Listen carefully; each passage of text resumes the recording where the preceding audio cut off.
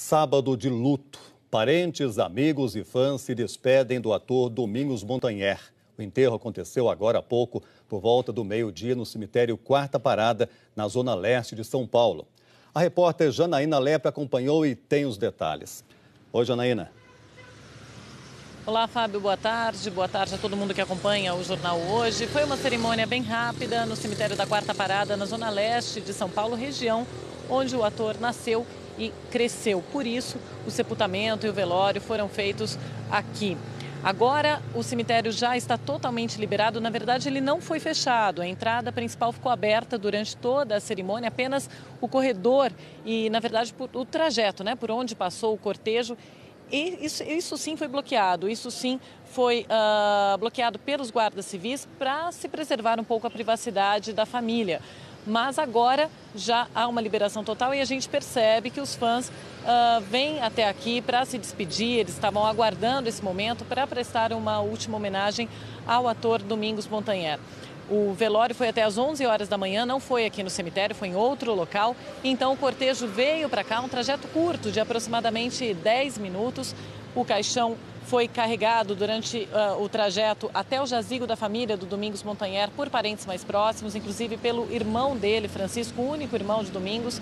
Alguns atores também vieram até aqui, Marco Rica, Natália Timber, Marisa Hort, vieram se despedir. A mulher dele bastante abalada, claro, o tempo todo foi uma das últimas a sair do local e o velório foi na parte da manhã. As cerimônias foram muito rápidas. A família quis que tudo acontecesse muito rápido, até porque já é realmente um momento de, de muita dor, de muito sofrimento.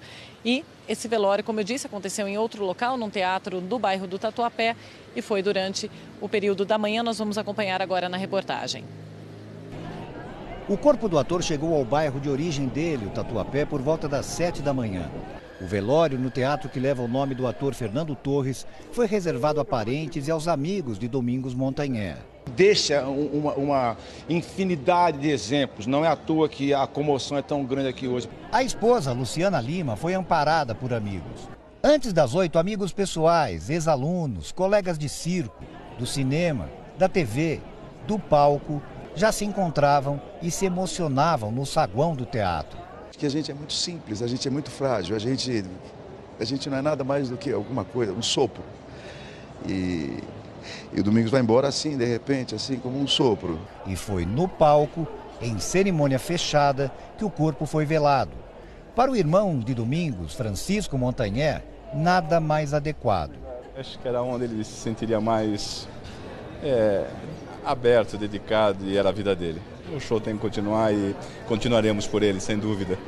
O choque, o inconformismo com a morte do ator custam a passar. A gente passa muito tempo mais de personagem, às vezes, fazendo uma novela do que da gente mesmo. Então, era uma convivência muito intensa no Velho Chico, né? A gente convivia muito, eram poucos personagens, quase todo dia nós estávamos juntos nos últimos oito meses. Todos nós sabemos que era uma figura muito, muito querida, não é muito afetuosa, um bom ator e ceifado assim no, no, no momento mais bonito da sua carreira. Era só luz. Domingos era só alegria, só luz, simplicidade, carinho. É inacreditável saber que não, não vamos nos, nos encontrar mais. A lembrança que eu tenho dele é de um cara assim, sempre sorrindo sempre dando aquele abraço na gente, ele era muito grande, né? dando aquele abraço, sempre sorrindo. A gente via ele chegando de um lugar, sempre sorrindo. Então, bom que a gente mantenha essa lembrança dele, sempre sorrindo. Carlos Henrique Schroeder, diretor-geral da TV Globo e companheiros da novela Velho Chico, também vieram se despedir. Marcelo Serrado e Camila Pitanga estavam com Domingos em Sergipe nesta semana para as gravações da trama. O ator nadava com Camila no Rio São Francisco quando se afogou. Na entrada do teatro, uma multidão se aglomerava. O irmão de Domingos Montanher agradeceu aos fãs. Às 11 da manhã, e entre aplausos da multidão em frente ao teatro, o corpo de Domingos Montanher foi levado para o cemitério da Quarta Parada, também aqui no bairro do Tatuapé, onde estão enterrados os pais do ator. No cemitério, muita gente já aguardava a chegada do corpo. O cortejo foi reservado. A Alameda ficou tomada pela família e os amigos de Domingos Montanher. A cerimônia de despedida foi reservada à família e amigos mais próximos. Mesmo assim, uma multidão de fãs foi ao teatro onde ocorreu o velório e ao cemitério para prestar as últimas homenagens. Veja na reportagem de Andressa Roger. As duas entradas do teatro ficaram tomadas pelos fãs que queriam se despedir. Todas as novelas que eu assisti, né, é, realmente ele trabalhava assim com a alma, né? Ele se doava, né? Uma coisa assim bem impressionante mesmo. A família do ator quis passar esse momento tão difícil ao lado de parentes e amigos. Os fãs não puderam entrar, mas muitos vieram ao teatro mesmo assim para prestar uma homenagem e ficaram aqui do lado de fora, lembrando do talento e da simplicidade de Domingos Montanher. Outra coisa que eu mais admirei no Domingos é a humildade, né? De ter amizade com todo mundo, falar com todo mundo. Eu acho que isso aí é uma coisa muito bonita. A Ana Paula não conseguiu segurar o choro. Domingos era um dos atores favoritos dela. Quando ele fez Cordão Encantado, é, foi a primeira vez que eu assisti ele. Eu gostei muito. Ela é fã. E a gente eu tinha prometido para ela que eu iria levar quando ele estreasse uma peça aqui em São Paulo para ela assistir uma peça dele. Mas não deu tempo, né? A Karen acordou cedinho e veio de metrô até o teatro. Ela conta que ficou ainda mais tocada com a tragédia porque viveu um acidente parecido ficou paraplégica depois de cair nas pedras de uma praia e quis vir homenagear o ator que lhe deu tantas alegrias. E eu me identifiquei muito também com a tragédia que ocorreu com ele, que foi semelhante ao que poderia ter acontecido comigo, que eu há quatro anos sofri um acidente. Então me identifiquei com a tragédia, assim, com a situação de um dia você tá bem e num estalar de dedos a sua vida acaba. A, a minha poderia ter acabado também, né, da forma que foi a dele. Nós voltamos a falar agora aqui do cemitério da Quarta Parada, onde houve o sepultamento por volta do meio-dia.